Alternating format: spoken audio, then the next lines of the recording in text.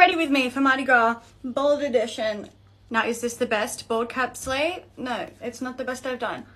But it's what's on my head, so it's what we're going with. Remember last Get Ready With Me and the one before that where I forgot all my makeup while touring and I consistently do that? Um, and I went and picked up MCO Beauty. They actually sent me a bunch of products to try out. So we're gonna do that in this Get Ready. Okay, we're gonna come back to that one. But this is one that I used last time and I genuinely love this so much. It's the Brow Lemonade, the Sculpt and Set. I actually loved using this and I still use it all the time now. It's like a waxy situation and I just put it like a lot of it through my brows and do it back like this. This is actually going to be my first year experiencing Mardi Gras because the year before I was in rehab. And then the year before that, my boyfriend, my straight boyfriend, went without me he literally was like, yeah, I got us tickets. You're gonna love it. Like, it's this big parade and you're gonna have so much fun. It's so gay. And I was like, oh my god, I love gay stuff. So I'm like all dressed up, ready to go. I'm full glammed, glittered. I've got an outfit picked out. He gets in and he's like, uh, yeah, I thought that there was a ticket for you, but it's actually just me and my mate.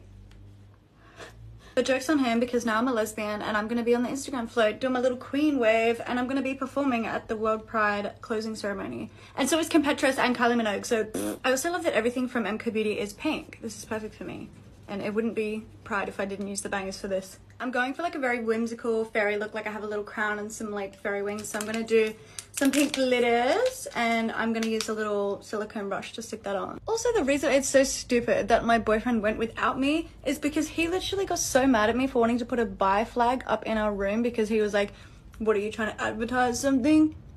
Like, maybe, yeah, actually. With that attitude, I might. How pretty.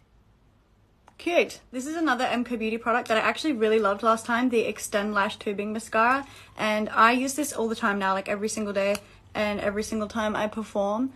Not every single day, I don't wear mascara every day, but um, I have falsies on as you can see. But I just hate when like mascara smudges and leaves like that. Like for some reason it does it really bad on me. So this one doesn't, and I love that. Ta-da! Look how pretty.